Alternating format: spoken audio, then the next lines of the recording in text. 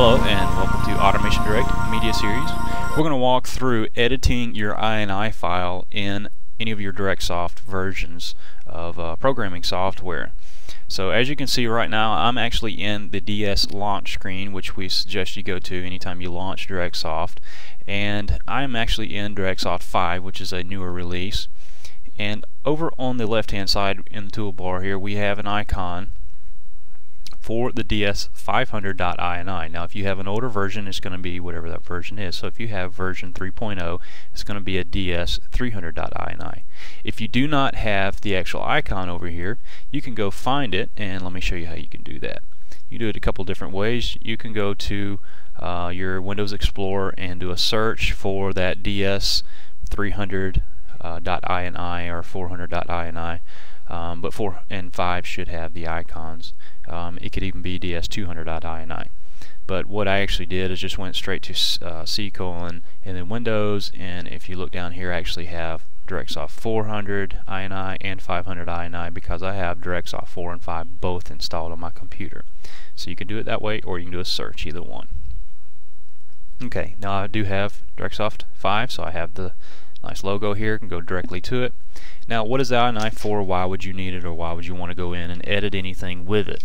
Okay, first thing, let me close that out and we're going to launch the screen and notice when I launch it's actually going to start searching for all our communications links.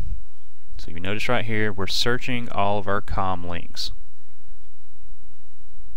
Okay, and it comes back and says, okay, you've got a few com links that are uh, disabled and you've got one that is enabled.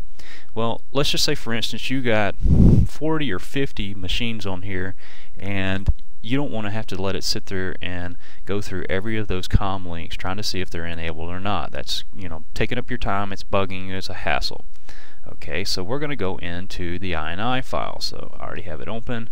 We're going to go down here and we're going to scroll down this INI file.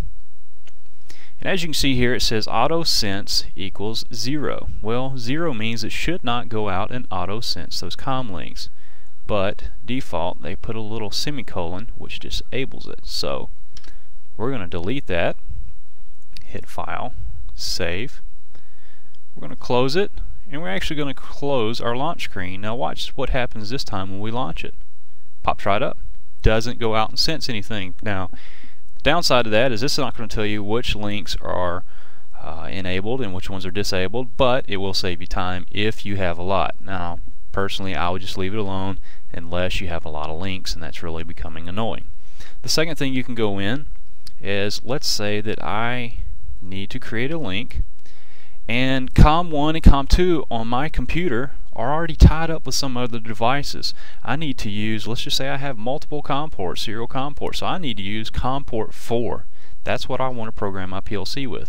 Well, you notice we're only getting 1 and 2 on here. Well, what do I do if I need 3, 4, 5, 6, 7, or even 8? Because you can enable up to COM8 with the INI file in DirectSoft. So let's cancel that. Let's go back to our INI. Let's close this one out. And we're going to scroll down.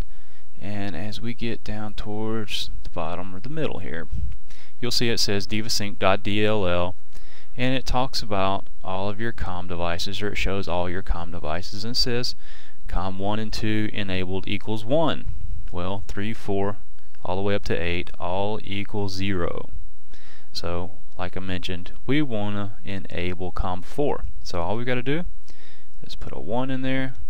Hit file. Save. We're going to close it. We'll close our launch screen and we'll relaunch. And guess what? We can go to comlinks add a link. 1 2 and 4 are all enabled now. You can disable them if you have a full list here enable them as you need. Same thing with the modems and the ethernet and so forth. Okay that's what it's for. Now let's back up just a hair and we'll show you a couple things there are some uh, application notes out on the website. You can also contact technical support if you need some further help. So we'll go to our home website at automationdirect.com, go to tech support, and when you bring up that page, as you can notice, we're going to scroll down here, but we have technical and application notes. and you can scroll down to software products, DirectSoft 32, and we actually have PDFs here that'll walk you through editing your INI files, going through communications and stuff like that. Let's back up and let's say, okay, um, still not helping me out. I have some problems. What can I do? How do I get a hold of you guys? Well, you can go to Contact Technical Support. And you can see here we have our free 770-844-4200. It's a free phone call to our technical support. Also, you have a fax number. You can fax them in a request or a question, or simply just fill out the email here, and you can ask them if you feel like you may, you know, want to go out on a forum and post a topic or ask some questions. You can go there as well. So I hope this helps you out with your DirectSoft INI, and uh, you better understand it a little bit better. So, thanks. Have a great day.